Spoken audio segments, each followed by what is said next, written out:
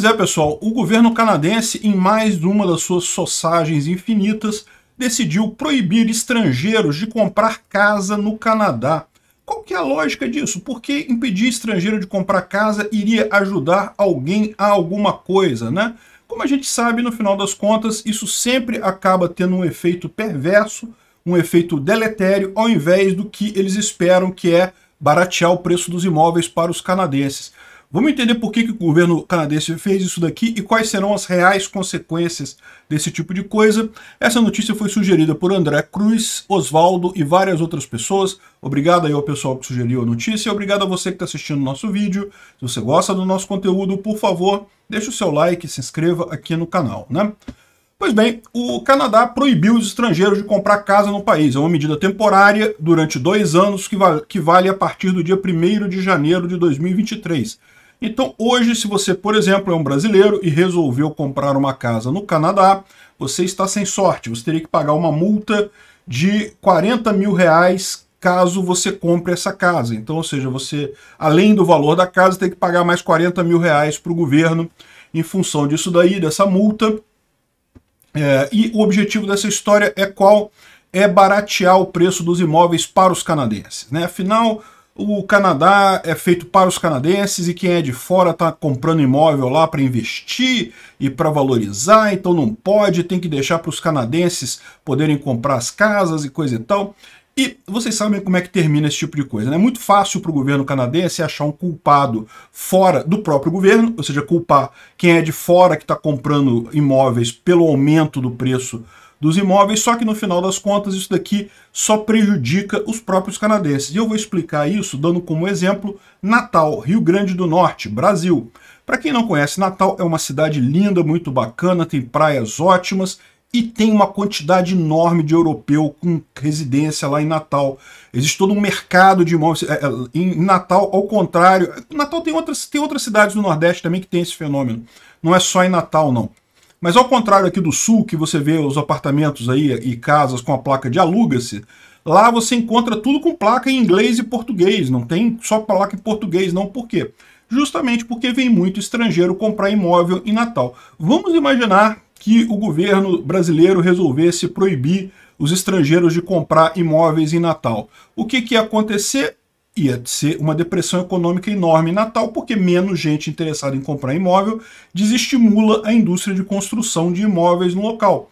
E no final das contas, isso não ajuda em nada para o pessoal local, porque tipicamente os imóveis que os estrangeiros compram têm um valor maior do que o imóvel que o, uh, o residente local costuma procurar no final das contas. Né? E é exatamente isso que acontece nesse caso aqui. Eles falam que muitos estrangeiros, notadamente americanos, que moram ali pertinho, estão comprando imóveis no Canadá para especular, porque o valor dos imóveis no Canadá tem subido muito, e daí tem ficado imóveis vazios e coisa e tal. E, no final das contas, lá em Natal, a quantidade de imóveis que é vendido para estrangeiros é relativamente pouca no final das contas. E adivinha, Lá no Canadá é a mesma coisa, é o que vai acontecer no Canadá também. As pessoas que hoje vendem imóveis para estrangeiro, conseguem vender com preço mais alto e coisa e tal, é, vão acabar ficando sem emprego porque não podem mais vender para o estrangeiro e isso não vai fazer efeito nenhum no mercado de forma geral, porque isso é uma fração pequena dos imóveis totais vendidos. No final das contas, você não vai fazer uma diferença sensível para a própria população, né? E mais uma vez a gente levanta qual que é o grande problema, por que, que os preços dos imóveis estão subindo no Canadá? É, é por causa desses. É, eles falam aqui que eu acho que é 6%. Na cidade que é mais. que tem a maior quantidade de investidores estrangeiros de imóveis, é 6%, ou seja, uma, uma pequena fração é, da, dos imóveis. Né? Por que, que uh, uh, o preço dos imóveis está subindo na cidade do Canadá? Pelo mesmo motivo que ela sobe em várias outras cidades esquerdistas no mundo todo. O Canadá é extremamente esquerdista, as leis de zoneamento urbano são extremamente complexas.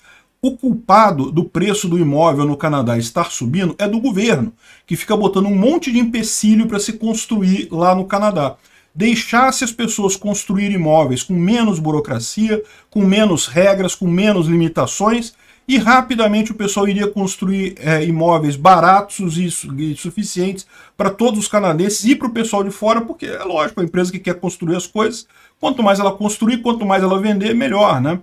Mas o que, que acontece tipicamente nesse, nessa situação? O governo inclui um monte de regra de que não pode construir desse jeito, não pode construir daquele jeito, tem que ter licença de não sei o que lá, e tem que ter licença de não sei mais o que. E aí, para ficar para construir fica complicado, aí você começa a ter menos casas sendo construídas. E isso é a origem de tudo. O que está acontecendo lá no Canadá é o governo tentando tirar a culpa das costas dele, dizer que não, a culpa não é do governo, a culpa é dos americanos malvadões que vêm aqui comprar casa aqui no Canadá e deixar casas do Canadá para os canadenses pessoal adora usar essas frases de efeito assim, que na verdade é o que? Ele tá te ferrando, é o governo que tá te ferrando. É o governo que tá fazendo aumentar o preço das casas. E aí tá querendo botar a culpa no pessoal que compra de fora, né? Isso daqui provavelmente vai ter o mesmo efeito que teve uma lei similar que aconteceu na Nova Zelândia e o efeito foi bolota, zero, não mudou nada, continuou subindo o preço dos imóveis do mesmo jeito. É o fato, né? Vai fazer o quê?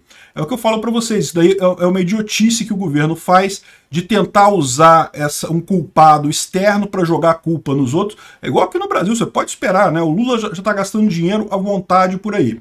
O que, que vai acontecer? Todo mundo sabe o que acontece quando o governo gasta demais. Inflação. Inflação vai vir comendo solta aqui no Brasil. Adivinha, já estão falando que não, que a culpa é do dono de posto de gasolina, a culpa é do, do açougueiro, a culpa é do, do cara do, do, do mercado, é o mercado que fica aumentando os preços coisa. Não, a culpa é do governo. É lógico que a culpa é do governo. Não tem esse negócio de mercado, não. O mercado se deixa ele livre e pronto, ele resolve sozinho. É o que eu falo aqui, tira a regra. A solução não é aumentar a regra, não é criar regra nova. A solução é tirar regras anteriores. Né? Esse é o problema que esses socialistas não veem. E é, e é o problema que eu falo também da, da, da questão de, é, da poluição de regras. Que isso é uma coisa que acontece aqui no Brasil, acontece em todos os países do mundo. Você tem um governo que adora criar novas regras e raramente tira regras antigas. Então, o tempo todo, os deputados que são eleitos, eles gostam de se vender como, olha só, eu fiz não sei quantas leis, eu sou um deputado, eu criei a lei que proíbe de comprar casa se não for canadense, coisa e tal.